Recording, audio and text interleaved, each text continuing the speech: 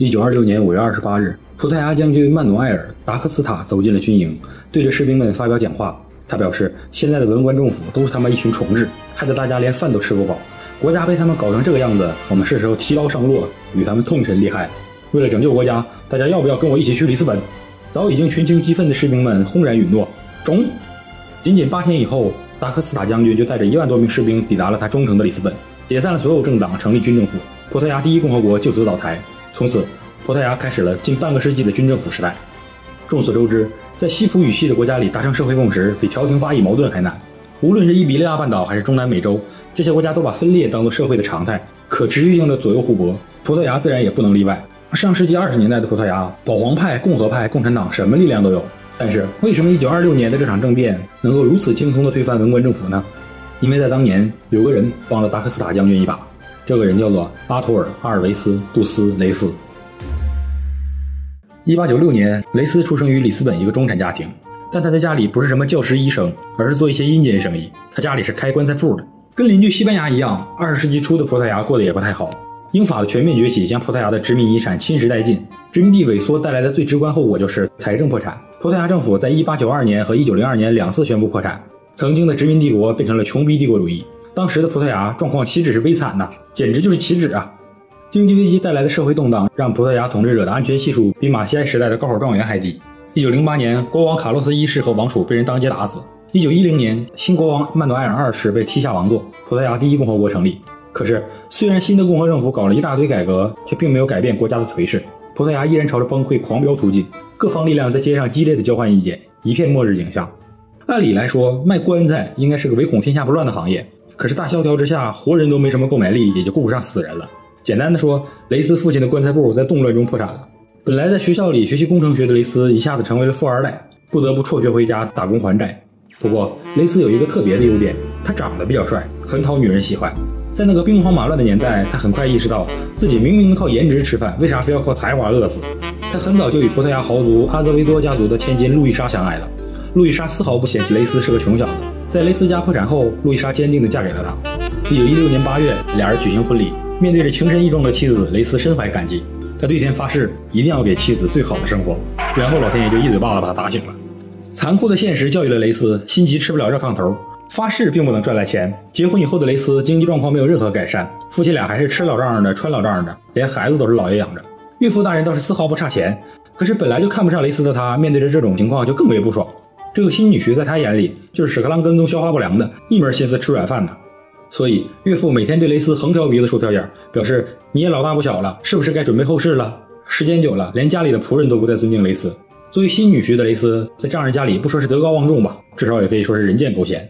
雷斯并不是个没志气的人，长久的歧视让他无法忍受。最终，雷斯痛下决心，对着妻子说：“宁做高老庄匪首，不做广寒宫舔狗。既然岳父看我如此不顺眼，我们离开里斯本吧。”去殖民地安哥拉碰碰运气，将来混出个人样再回来。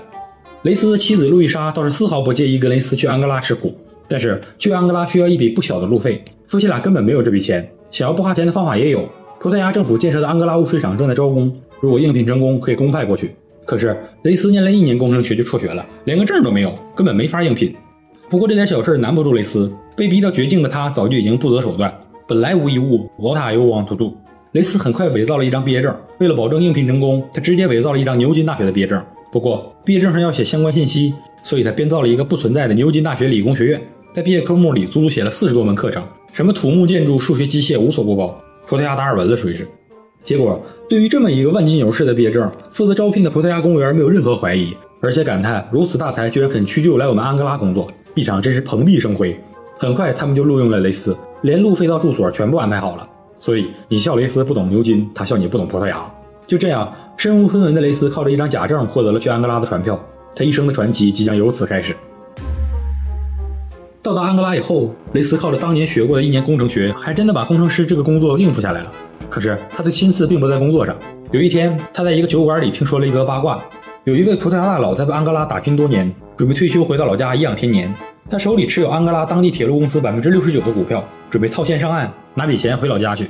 雷斯研究了这家公司后，发现这家公司财务状况相当好，吃进这些股份稳赚不赔。但遗憾的是，自己没有那么多钱来购买大佬的股份。不过没关系，已经靠造假证骗来一份工作的雷斯不介意再施展一下神通。很快，雷斯找到了大佬，表示自己愿意一次性吃下大佬的所有股票，省着您零卖麻烦，只是希望价格优惠一点。老爷子着急回家，很爽快地答应了他的要求，俩人很快谈妥。雷斯当场给大佬开了一张蒙特皮奥银行的支票。蒙特皮奥银行是一家新兴的协会银行，当时在非洲并没有兑付业务，所以拿了支票的大佬只能回葡萄牙才能换成现金。而在那个没有网络的年代，支票上写的数字是否能兑付，大佬根本无从知晓。其实，雷斯给大佬开的是一张典型的空头支票，他的账户上根本就没钱。当然，如果雷斯只是这样的话，也只是个拙劣的诈骗犯而已。一旦大佬回到葡萄牙去兑现支票，那雷斯就是厕所里面打地铺，离屎不染了。但是雷斯对此早有准备，他在控股铁路公司后，迅速将公司账户里的公款转到了自己的户头里。半个月后，大佬的船还没到葡萄牙，当初雷斯开出的那张空头支票就已经成为了能兑现的支票了。当然了，雷斯拿着公司的钱去还私债，如果被查出来，他还是要坐牢。可是安哥拉作为殖民地，其监管没有欧洲那么严密，这家铁路公司的盈利状况又很好。没过多久，雷斯就用新赚来的钱把公司的窟窿堵上了。就这样，靠着空手套白狼，雷斯轻松获得了一家铁路公司，一跃进入了资本家行列。一九二二年，雷斯卖掉铁路公司，带着路易莎衣锦还乡。虽然他如今的财富与岳父家相比依然不值一提，但至少这次岳父不再鄙视他。回到葡萄牙的雷斯用自己的钱控股了一家现金流很充沛的农业公司，然后打算旧计重施，挪用公司公款为自己收购葡萄牙矿业公司的股票。这家公司拥有四座金矿、两个钻石矿和九座铁矿。一旦雷斯得手，他这辈子都不会再为钱发愁了。可是雷斯算错了一点，葡萄牙不是安哥拉。虽然葡萄牙社会很动荡，但依然是欧洲国家。在雷斯挪用了超过十万美元后，葡萄牙的财务人员拆穿了他的把戏，然后雷斯理所当然的进了监狱。好在律师靠谱，他只被关了一个多月就出来了。在我们这个系列里，大家可以发现，监狱是个思考的好地方，这里的人心最静。在监狱里的雷斯，在思想上开始了王八蜕壳，自我开脱。首先，他意识到自己这样空手套白狼不是个曲子，这种虚拟经济还是不行，还是得干实业。干实业就是制造业，要制造东西换钱。那么，什么东西最值钱呢？当然是钱最值钱呢。雷斯顿悟了，为什么要造东西换钱呢？我他妈直接印钱不行吗？如果说赫尔曼·拉姆在监狱里的思考是抢劫界的龙场悟道的话，那雷斯在监狱里的顿悟就是金融犯罪界的上帝神奇。从那天起，一朵雷斯的乌云逐渐笼罩在了葡萄牙的上空。自从纸币诞生以来，想要印假钞的人从来不少。这个行业门槛低、见效快，没有中间商赚差价，是想要凭空暴富、过上幸福生活的有志人士们的不二选择。但是这个行业始终有个解决不了的问题，就是假钞会被人辨认出来。就像那个经典段子：为什么你要印假钞？因为我不会印真钞。但是雷斯跟他们的思路不同，他接下来令人眼花缭乱的操作，真是熊猫点外卖损到家了呀！出狱后的雷斯没有着急去买印刷机，而是找到了三个人：荷兰商人卡尔马朗，表面是商人，实际上是间谍的德国人阿道夫·亨尼斯，以及一个葡萄牙人何塞·班德拉。何塞没有什么身份，但是他哥哥安东尼奥·班德拉是葡萄牙的高级外交官。找到这几个人以后，雷斯草拟了一份合同。合同的甲方是葡萄牙政府和央行，乙方是雷斯。内容很简单，就是雷斯以自己公司的股份为抵押，从政府获得了一笔贷款，以投资在安哥拉。在当时的葡萄牙，这样一份合同需要政府认证、外交认证和央行认证后才能生效。然后一号工具人何塞出场了，他在哥哥毫不知情的情况下偷来了哥哥的签名和公章，轻松的帮雷斯搞定了外交认证。再然后，带着有外交官认证的合同，雷斯在一个即将下班的周末下午，找到了一个全里斯本最心不在焉的政府公证员，来给这份合同盖章。这个公证员果然草草的翻了一下合同，随便验证了一下签名后，就盖上了政府公章，政府认证搞定。最难的是央行的认证，恰好的是雷斯有个亲戚欠了当时葡萄牙央行行长罗德里格斯一笔钱，已经拖了很久没还。雷斯此时主动帮亲戚给行长大人还了钱。按照当时的惯例，行长大人亲笔写了一封感谢信，里面印上了自己的签名章和手写签名。现在，这份拥有外交官和央行行长签名、政府和外交双重公章认证的合同，已经无限趋近于真实。如果此时雷斯拿着它去银行提取贷款，大概率也是能成功的。只不过将来会不会被发现就不好说了。可是雷斯没有拿着合同去骗贷，而是再次草拟了一份合同。在这份合同里，他变成了甲方，葡萄牙政府和央行变成了乙方。这份合同的内容是，雷斯的公司以五百万美元为代价，获得了印刷等值的安哥拉货币的权利。这件事听起来令人难以理解。需要结合历史背景，在二十世纪二十年代，世界上的通讯还相当落后，没有互联网的时代，也谈不上什么外汇体系。无论是美元还是英镑，在大多数殖民地都是花不出去的。如果一个外资企业想要进入殖民地，他们需要把一些硬通货质押在宗主国这里，然后被准许印刷等值的殖民地货币，以方便投资。而在雷斯的合同里就是这种情况。在合同里，雷斯质押了五百万美元后，政府允许他印刷价值五百万美元的安哥拉货币，以在安哥拉投资。我们都知道，这份合同是雷斯自己在办公室里瞎写的。什么质押五百万美元都是鬼话。可是，当雷斯把之前获得的政府认证、外交认证和央行行长签字给拼接到这份新合同上的时候，这份合同看起来可是真的不能再真了。然后拿着这份看起来像真的一样的假合同，雷斯派荷兰商人卡尔马朗找到了荷兰的一家印刷企业，要求他们印刷这批钞票。这家企业拒绝了雷斯的要求，因为他们并不具备这种技术能力。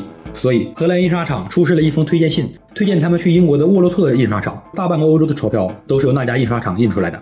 雷斯早就料到了这种情况，他要的就是这封推荐信，这样他才能有理由去找沃洛特厂。离开荷兰后，他命令马朗带着合同、印刷厂的推荐信和带有央行行长签名的授权书去了英国。马朗来到沃洛特厂，要求英国人帮忙印刷这批钞票。英国沃洛特印刷厂的厂长威廉先生是个非常谨慎的人，正是这份谨慎才让他获得了这么多印钞的生意。他看到这份齐全的证明后，并没有完全相信，而是亲笔给葡萄牙央行行长罗德里格斯写了一封信，询问是否有委托印钞的事情。沃洛特厂的谨慎自然也在雷斯的算计之中。这时候，他的另一个工具人德国间谍阿道夫出场了。威廉先生的信根本没出英国，就落到了阿道夫手里。由于之前已经拿到了央行行长的亲笔信，雷斯模仿罗德里格斯行长的笔记，给英国写了回信。信中除了确认印钞确有其事外，还另外嘱咐了一句：殖民地业务不宜大张旗鼓，需要严格保密。得到了多方确认的威廉先生又没有国家反诈 APP，他觉得没有必要再怀疑了，这是一本利润可观的大活。得到了雷斯给的预付款后，印钞厂昼夜不停地开足马力，没过多久就把这笔价值五百万美元的安哥拉货币印出来了。看到这里，有朋友可能会好奇。折腾的这么复杂，就为了获得点安哥拉货币，值得吗？那鸟不拉屎的鬼地方有啥可买的？五百万美元花得出去吗？这里就要说下当时的葡萄牙人留下的可怕 bug 了。当年的葡萄牙金融官员们一个个懒得要死，他们的殖民地货币和葡萄牙自己的货币几乎一模一样。葡萄牙的货币名字叫做埃斯库多，欧陆特厂就是完全按照上一批印刷的埃斯库多的版式来印刷这批安哥拉货币的。当时安哥拉货币与葡萄牙货币的唯一区别是，安哥拉货币就是在葡萄牙埃斯库多的基础上加盖一个字母 A。可是，如果葡萄牙央行不盖上这个字母的话，这批安哥拉货币其实就是葡萄牙货币。当时的安哥拉埃斯库多与葡萄牙埃斯库多的汇率是零点五五比一，也就是说，这批五百万美元的安哥拉货币，由于没有央行的加盖字母，实际上等于一千万美元的葡萄牙货币。一九二五年二月，经过沃洛特厂的全力生产，足足二十万张面值为五百的葡萄牙埃斯库多被送到了里斯本，潘多拉的魔盒被打开了。在一九二五年，一千万美元是什么概念呢？按照购买力算的话，在当时，一辆崭新的新款雪佛兰售价是五百二十五美元，最豪华的别克也不过九百六十五美元，而纽约市中心核心地带的三室两厅的大房子，售价大概是两千美元。也就是说，这笔钱差不多能买一万多辆豪车或者五千套纽约的豪华公寓。这个购买力听起来可能没有那么惊人，但不要忘了，葡萄牙当时是一个只有六百多万人的小国，按照相对数字算的话，当年葡萄牙人的平均收入约为一百四十四美元。雷斯印出来的这些钱，差不多相当于七万人全年的收入，超过葡萄牙年 GDP 的百分之一。如果换算到中国，大概感觉差不多是一个人手里拥有一万多亿人民币的现金。而由于这笔钱是由正规印钞厂印出来的，是官方出品的赝品，跟真钞没有任何差别，所以雷斯他们丝毫不需要分批化妆等等，直接拿出来就可以花。雷斯终于可以履行自己当年的承诺，他起手就买下了修建于18世纪极尽奢华的金童宫，送给妻子当礼物。但买房还远远不够，雷斯带着妻子去巴黎疯狂扫街，以公斤为单位买珠宝。至于他的工具人，也纷纷鸟枪换炮，偷哥哥印章的何塞班德拉直接在巴黎克拉里奇常住，每天声色犬马，还骗到了一个荷兰女性当情人。当然，雷斯并不是一个失去理智的人，他除了挥霍无度以外，也没有忘了正事儿。他陆续买下了三家大农场和一家出租车队，投资了若干家证券交易所和外汇市场。除此以外，他还收购了西班牙的西斯巴诺汽车公司，并且对葡萄牙新闻日报开出了自己的报价。准备收入囊中作为后者。除了在葡萄牙，雷斯还杀回安哥拉，买房产、买矿山、买农场、买一切。雷斯根本不计较价钱，当地的殖民地官员和地主们赚得盆满钵满，感动得热泪盈眶，直呼救世主降临了。不过，即使这样投资，雷斯依然远远无法消化自己的巨额财产。为了处理这些钱，雷斯直接开了一家安哥拉铁路银行，用自己的钱放贷吃利息，爷钱生钱了。利用这家银行，雷斯想要玩一把最大的，他想要收购央行。是的，作为只有六百万人的小国，葡萄牙政府就这么没有节操，连央行都是股份制的。经过雷斯的计算，只要四万五千股股票，他就可以成为葡萄牙央行的控股股东。于是，他在三个月内大举收购了两万六千股葡萄牙央行的股票。如果他成功的控股了央行，那么他印钱的行为将会被永久的掩盖住，不会有任何人调查他。他几乎成功了。如此巨量的货币在几个月内涌入一个六百万人口小国的市场里，大概是什么感觉呢？如果说雷斯的行为叫大水漫灌的话，当时的其他货币交易都只能算是尿检样本。雷斯的疯狂消费带来的直接后果就是葡萄牙开始了飞速的通货膨胀，因为市场上的 M2 大大增加了。五百元的埃斯库多是当时葡萄牙面值最大的货币，而当时葡萄牙全国也就只有大约二十万张五百元的埃斯库多。雷斯直接让这种大钞的数量翻了一倍，大家可以感受一下。但是物价上涨了，葡萄牙人的工资可没涨。普通百姓眼看着物价飞涨，吓得不敢再存钱，而是纷纷把储蓄拿出来消费，囤积各种物资。结果在雷斯的带领下，葡萄牙居然在1925年迎来了市场繁荣，泡沫经济了属于是。面对着莫名其妙的通货膨胀，当时的有识之士都觉得情况不对，很多人推测出市场上肯定有大量假币。可是葡萄牙央行竭尽全力也查不出有哪些货币是假的，毕竟雷斯印的都是如假包换的真钱。整个葡萄牙高层就是路易十六拿着海飞丝，摸不着头脑。其实，如果当时葡萄牙银行有验号部门的话，是可以查到市场上有相同编号的货币流通的。可是当年的葡萄牙人根本没想到会碰见这种情况，所以压根没设立这个部门。在葡萄牙政府的一片狐疑中，某一天，葡萄牙日报给他们提供了一点思路。事情的起因是这家报社的记者舍库洛因为贪图低息，自己找去雷斯办的银行里想办点贷款。可是跑了几次手续后，他却发现有点奇怪，这家银行天天往外放钱，咋看不见有储户进来呢？啥家庭啊，只放贷不吸出？这名记者倒是没怀疑银行的股东印假钱，毕竟哪个碳基生物都想不到这种事儿。不过他的结论更惊悚，这一定是德棍来扰乱我们经济的阴谋，不然那个叫阿道夫·亨尼斯的德国人怎么总往这儿跑？葡萄牙记者认为，一定是德国人在一战中吃了大亏，想回点血，所以来坑我们葡萄牙。我估计，魏玛共和国的高层如果看到这篇报道，高低得给葡萄牙日报写封感谢信，难为你们这么看得起我。不过，既然媒体都报道了，葡萄牙政府也得做个样子。葡萄牙银行贸易委员会派出了一个叫迪雷托的检察员，带人去了雷斯的银行，表示要封闭金库和账目进行查验。可是，迪雷托从白天查到了深夜，也没有查出任何问题。